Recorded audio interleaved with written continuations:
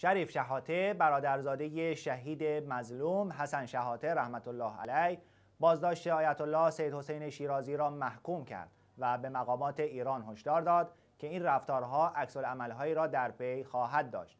در بیانیه آقای شریف شحاته که نسخه از آن به دست خبرگزاری ویوز رسیده آمده اولین کسی که آزادی را اقرار کرد خداوند متعال است و اولین معترض به این امر ابلیس علیه اللعنه بود.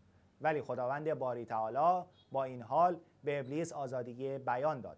وی افزود البته در این امر انبیا هم هیچ وقت در امر رسالتشان نشینیده و ندیدیم که پیامبران مارزان خود را اعدام یا اینکه کسی را بازداشت کنند و همانطور که در آیه شریفه آمده که میفرماید مذکر لست علیهم به مسیطر و فمن شاء فلیؤمن و من شاء فلیکفر.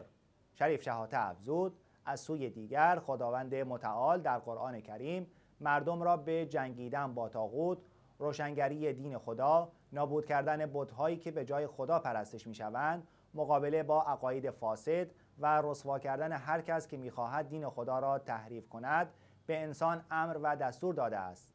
پس نامعقول است که خداوند متعال به انسانهای مخالف او اینقدر آزادی داده باشد. ولی در مقابل انسان به بازداشت و زندانی کردن و حتی قتل مخالفینش بپردازد. واقعا همچنین انسانی بر حسب چه معیار و چه منطقی این اعمال را انجام می‌دهد. شهاده در ادامه اعمال غیر انسانی نیروهای حکومتی ایران مانند شکنجه و بازداشت در حق آیت الله شیرازی را محکوم کرد و افزود. متاسفانه تمام این رفتارها فقط به خاطر ابراز عقیده در مورد ولایت فقیه بود. وی با اشاره به اینکه هر انسانی در مسائل مختلف روزگار آزادی فکر و بیان دارد تصریح کرد.